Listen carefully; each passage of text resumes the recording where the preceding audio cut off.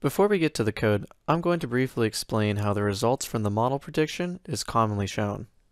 The most common way is through a confusion matrix, which you see on the screen.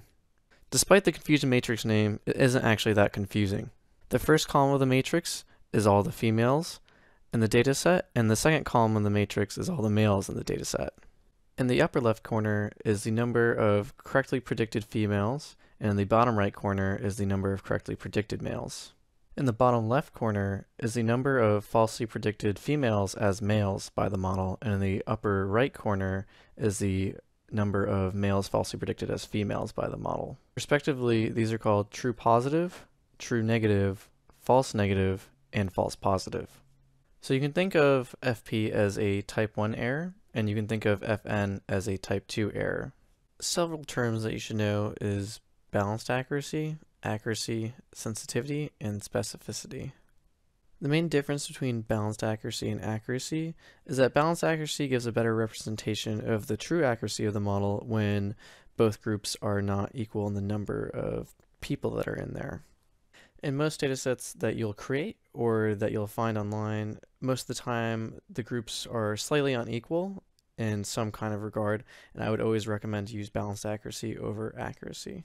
And sensitivity is true positive divided by true positive plus false negatives, which equals 90% in this case.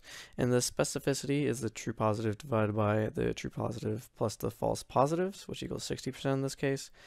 And if you add sensitivity plus specificity together and divide it by 2, you'll get the balanced accuracy.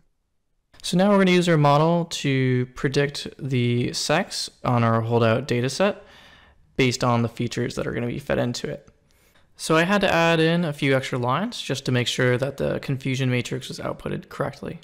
We can see our model did pretty well. It got an 80% balanced accuracy, which is pretty good for just off the bat. So let's check why sensitivity is so much higher than specificity. So the confusion matrix is a 2 by 2 grid, and it provides what the actual category is and what the model thought the category was. So we can see that the model correctly predicts 21 out of the 22 females and accidentally classifies one of the females as a male. So this would be why we have such a high sensitivity, because our model is doing such a good job at classifying females as females. But we can see that only 13 males were correctly classified, and that is why our specificity is at a lower percentage. So that wraps up basic classification. Uh, there's definitely a lot of areas that can be improved upon. You can definitely increase the specificity, if I can learn how to pronounce that word. And um, next, the next video will be about stacking different models together to improve classification accuracy.